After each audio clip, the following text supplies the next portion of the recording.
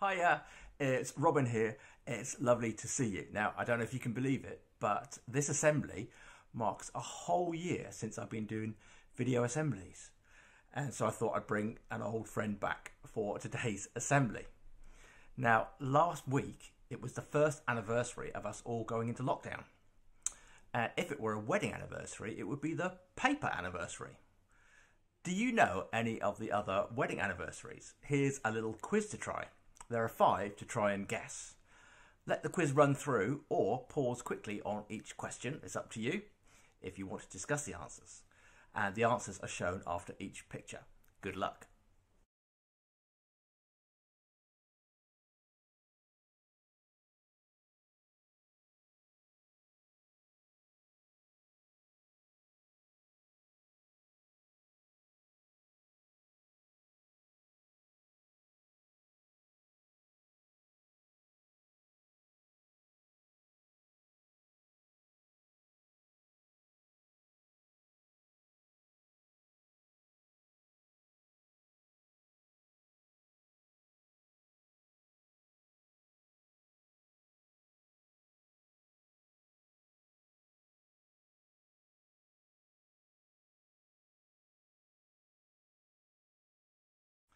When people get married, they celebrate the love they have for each other. And when people fall in love, they can feel excited with the whole world seeming to be more alive. But I wonder whether love means the same thing after 10 years, 25 years, or even 50 years of being married. I came across some quotes from children aged between 4 and 8 who were asked the question, What does love mean? I'll read you two of their answers, and then I'd like you to pause on the picture and talk about what you think love means. When my grandmother got arthritis, she couldn't bend over and paint her toenails anymore. So my grandfather does it for her all the time, even when his hands got arthritis too. That's love. Rebecca, aged 8. When someone loves you, the way they say your name is different. You just know that your name is safe in their mouth. Billy, aged four.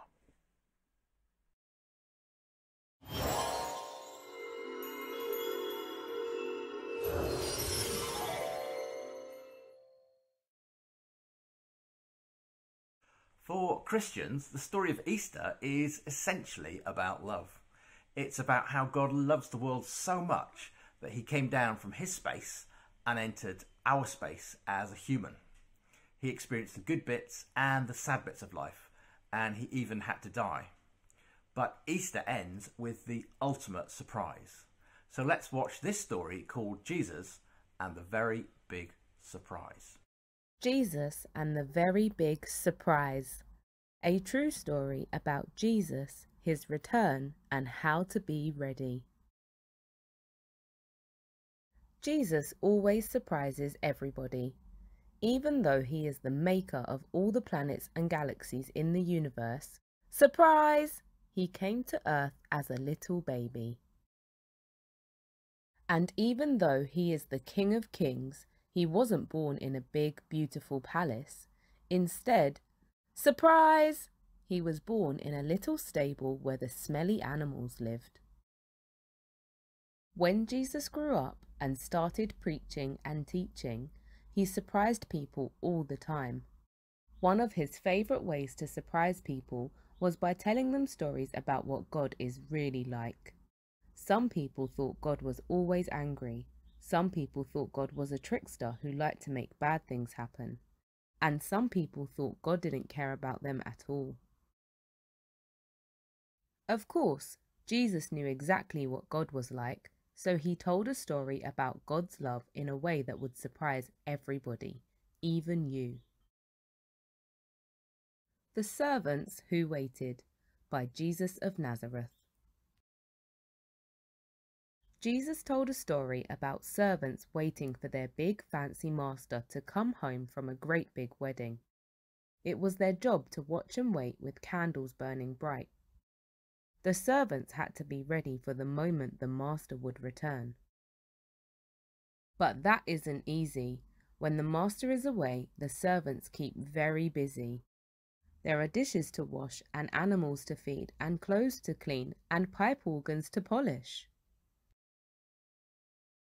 And when all that work is done, the servants still need to be ready. When the master comes home, they will serve him a midnight snack, fluff his pillow, bring him his best robe, and read him a bedtime story.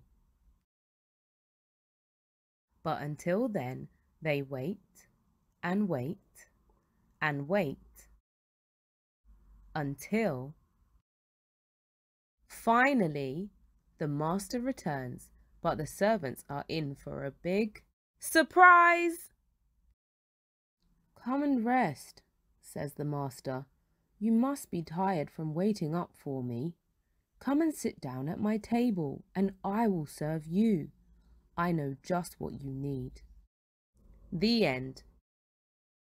In Jesus' story, the master loves his servants so much that he puts on servants' clothes and he serves them instead.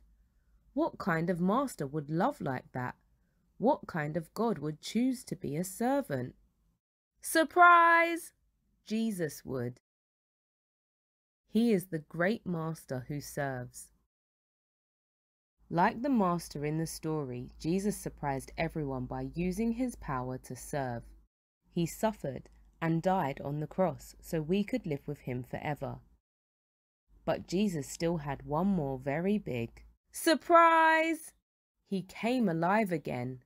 Then he went back to his Father in heaven and sent his Holy Spirit to stay with us till he returns. No one knows the day or hour when Jesus will return. It could be any minute. And just like the servants in his story, we have plenty to do while we wait. There are hungry people to serve, lonely people to care for, friends to share with, and enemies to forgive. And it all begins with loving Jesus, the great Master who serves. He knows what we need because He is what we need. So get ready. The Master is coming. I've got some questions for you to think about. The first questions are What do you think of the idea that Jesus is a servant? And how could this help Christians understand what God might be like?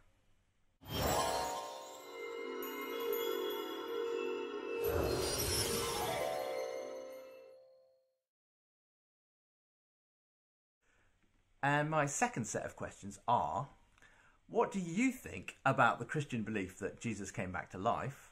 And why do you think Christians think it is such good news?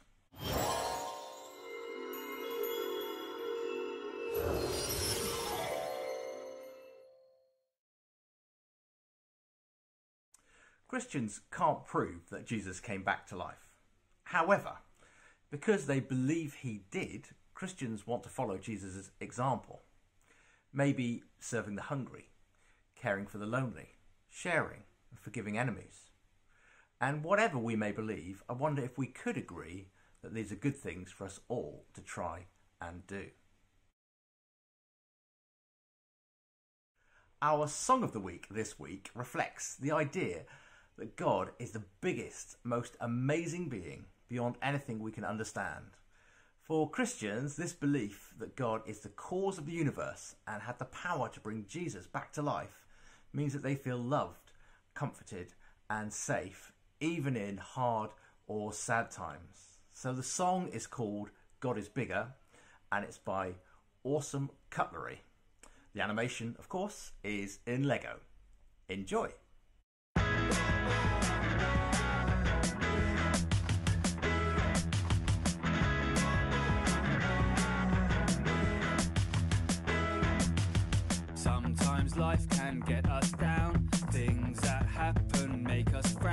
Slip on a banana skin, trip and fall into a bin. Sometimes we just wonder why. Things that happen make us cry. We get ill or hurt ourselves, but we can always tell each other. We can always tell each other. God is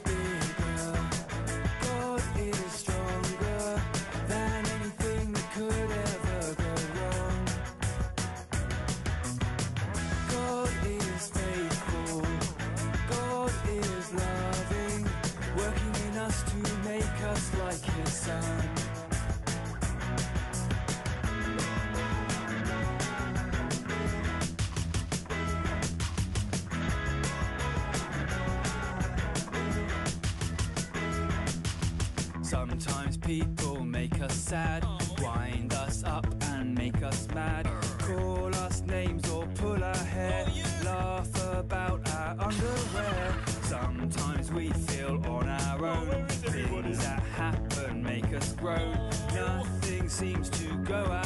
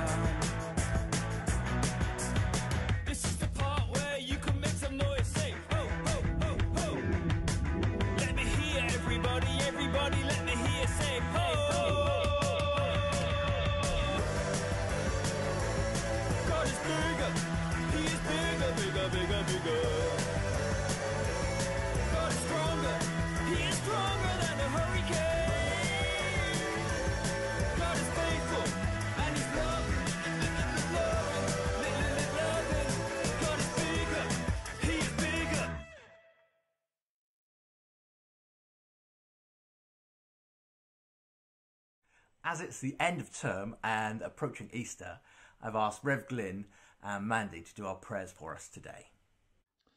Let us pray. Loving God, as we come to the end of this school term, we give you thanks that we have been able to share time together in school. This has been a difficult year, but we have achieved much.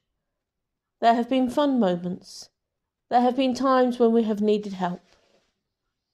We thank you for the skills of our teachers and support staff who have helped us and encouraged us in our learning. Bless us all with rest and enjoyment in our holiday. And as we look forward to the new term, continue to be with us as we teach and as we learn. Amen. Our tricky question of the week this week is I tried talking to God, but I don't hear him speaking. I'll leave you to see what Rev Glyn has to say and to discuss what you think. And I'll see you all after Easter when we'll be in the summer term. Bye. Glyn, tricky question. A child said to me, I've tried talking to God, but I don't hear him speaking to me.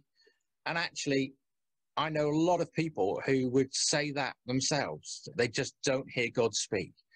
So, Mm. how do you answer that question? Again, it's not an easy answer to this question, but when we talk about prayer, we are talking about engaging in a relationship. So we may talk to God about our concerns and our worries, and sometimes we just have to sit still and be quiet. And sometimes we just have to simply trust.